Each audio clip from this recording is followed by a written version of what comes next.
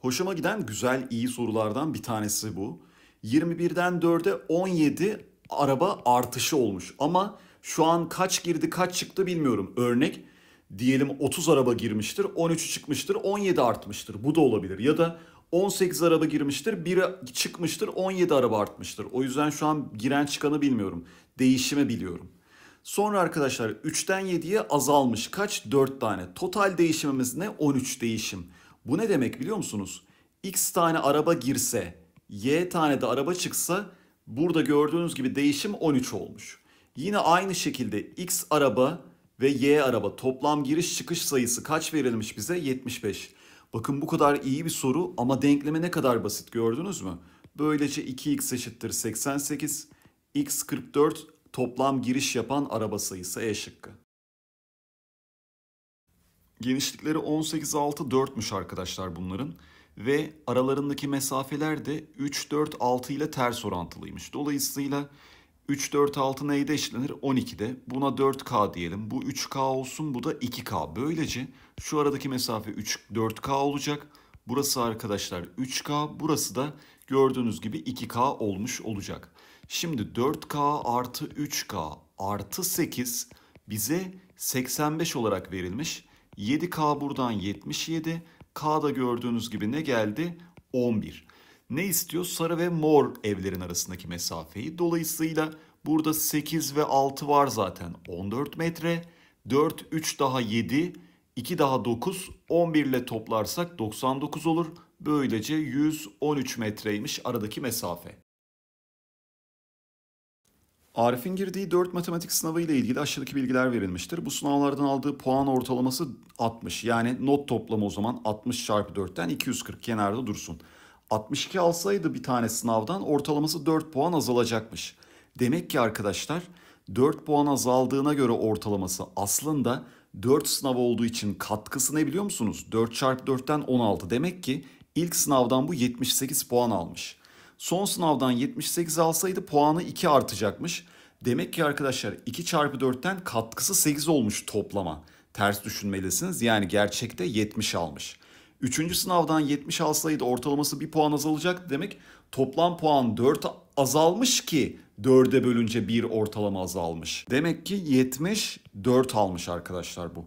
Dolayısıyla ikinci sınavı buluruz artık buradan. 78, 74 daha 152, 70 daha 222. Demek ki arkadaşlar son sınavdan pardon daha doğrusu neyse o işte ikinci sınavdan 18 puan almış D şıkkı. Eğer arkadaşlar yeşile 3 tane yapsaydı her seferinde x tane yeşil olsun 3x tane mandal kullanacaktı. Beyazlara da yine beyazlar da eşit sayıda dediği için bakın soruda haliyle 2x tane de onun için kullanacaktı. Ancak arada bakın bu şeyler hep ortak görüyor musunuz? Yani toplamda x artı x'ten 2x tane burada masa örtüsü var ya 2x tane masa örtüsü varsa 2x eksi bir tane ortak nokta vardır. Dolayısıyla bunlar için fazladan saymış olduk. Bunları arkadaşlar ortak kullanıyor. O yüzden çıkarmalıyız. Gördüğünüz gibi böylece 91 oldu. Bunlar gitti 3x eşittir 90'dan. x 30 zaten bizden yeşili istiyordu. Cevap B oldu. Şu akla gelebilir tabii ki. Neden hocam 1 çıkardınız burada? Hemen şöyle göstereyim bakın. 3 tane şey varsa 2 tane bağlantı noktası vardır. 4 tane varsa 3 tane bağlantı noktası vardır. 2x tane ise 2x eksi 1 tane bağlantı noktası vardır bu yüzden. Yan yana iki tane boş koltuk olamayacağına göre öyle o kadar da fazla boş yapamayız. Mecburen boş, dolu, boş, dolu, boş, dolu şeklinde. Yani mantıklı olan boşla başlamak ki boş sayısı fazla olsun. Dolayısıyla burada arkadaşlar 3 dolu olacak. Burada boşla başlarsak böyle bakın bunlar boş. 2 tane dolu olacak. Burada zaten bir boş bir dolu gittiği için 2 tane dolu olacak. Burada zaten 2 tane dolu var. Burada da 7 tane dolu var. Toplam o zaman 16 tane dolu var arkadaşlar. Koltuk sayısı 24 tane 2 bölü 3'müş.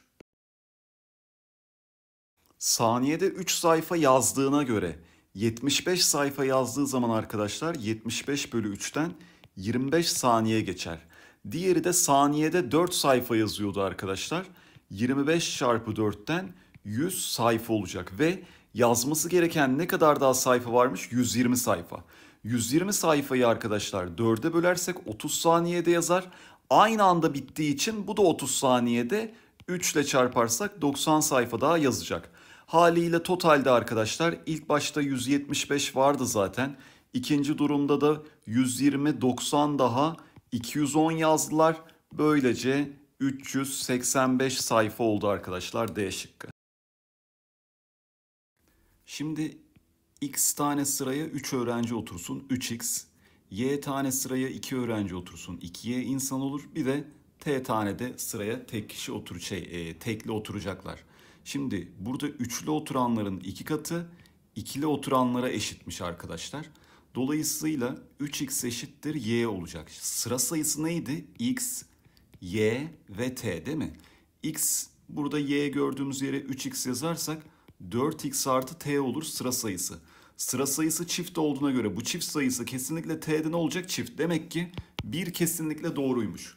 Sınıfta ikişerli oturulan sıra sayısı üçerli oturulanın 3 üç katıdır. Bunu bak zaten bulmuştuk gördüğünüz gibi. Sınıftaki tüm sıraların sayısı ikişerli oturulan sıra sayısının 4 katı ise tek oturulan sıra sayısı üçerli oturulan sıra sayısının 6 katıdır. Toplam sıra sayısını 4x artı t bulmuştuk. Bu arkadaşlar e, neyin 3 katıymış? Şey 4 katıymış pardon. E, ikili oturulan. İkili oturulana 3x demiştik burada demin bulmuştuk. Bunun o zaman 4 katı olduğuna göre 12x olacak. T buradan arkadaşlar 8x geldi. Şimdi bize ne demişti? Tek oturulan sıra sayısı üçerli oturulanın 6 katıdır. Ama ne geldi bakın 8 katı geldi. Bu yanlış oldu. Cevap 1 2 C şıkkı.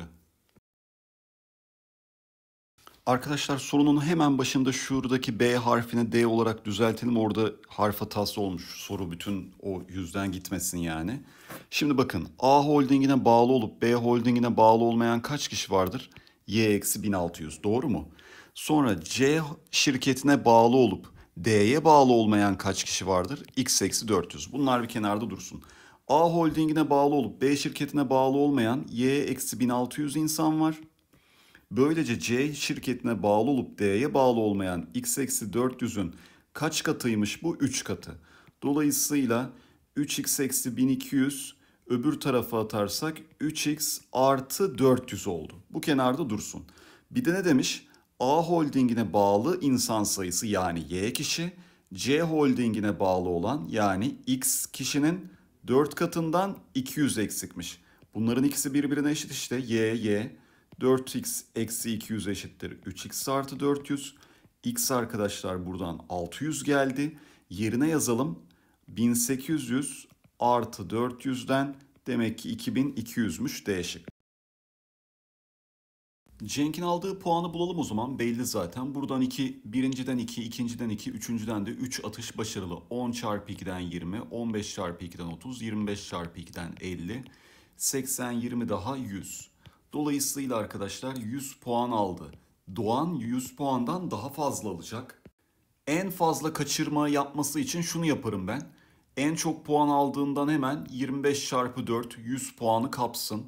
Bu ondan da bir tane puan alsın ya da 15'ten fark etmez. Yani birisinden bile 10 veya 15 alsa zaten geçiyor gördüğünüz gibi. 110 da olsa 115 de olsa. Dolayısıyla sonuncunun hepsini aldı. 5 veya 10 mesafeliklerden bir tanesinden sadece e, atış yaptı. Diğer geri kalan arkadaşlar toplam 12 olması için 7 tanesini kaçırmış oldu. En fazla böyle olur. Hesabın bir kısmı çıkmış arkadaşlar. Portakal suyundan 9 TL'lik bir tane alınmış. 9. 5 bardak çay içilmiş. 1,5 çarpı 5'ten 7,5. Tatlının ne kadar olduğunu bilmiyoruz. T diyelim toplam hesap 28,5 TL. T böylece 12 oldu. Şimdi diyor ki bunlar kaç bardak çay daha yani 28,5 hesap ödediler. 1,5 x kadar daha çay içecekler ve bu hesabın toplam hesabın dörtte biri tatlıya eşit olacak. Haliyle 28,5 artı 1,5 x eşittir 48 Şurayı bir düzelteyim. Sonra buradan da 1,5x eşittir 19 buçuk. Her iki tarafı 15'e bölelim. Yani bunu şey gibi düşünelim. 195 bölü 15 gibi düşünelim. 1 yaptım 15. Burası 45 oldu. 3 oldu. Demek ki 13'müş arkadaşlar. E şıkkı. 2016 yılında her biri 7 yaşında olan bir grup öğrenci varmış arkadaşlar. Bunların yaşları toplamına eşitmiş ağacın yaşı. Ağacın yaşı x olsun ve öğrenci sayısı y tane olsun. x eşittir 7y. Sonra 2021 yılına geliyoruz. Tabii ki ağaç arkadaşlar 5 yıl yaşlanıyor. Haliyle x artı 5 yaşında oluyor. Ve bu sefer 10 yaşında olan bir grup gelmiş arkadaşlar. Demiş ki sizin de yaşları toplamınızla eşit ama ilk gruptaki insan sayısı ikinci gruptaki insan sayısından 10 fazla olduğu için buraya bak y eksi 10 diyeceğim. 10 çarpı y eksi 10 olacak. Böylece 7y arkadaşlar bunu yalnız bırakırsak x'i neye eşit olmuş oldu? 10y eksi 100 bir de 5 çıkardık buna. Haliyle buradan artık arkadaşlar 3y eşittir 105. Y de ne gelmiş oldu? 35. Bizden ne istiyordu?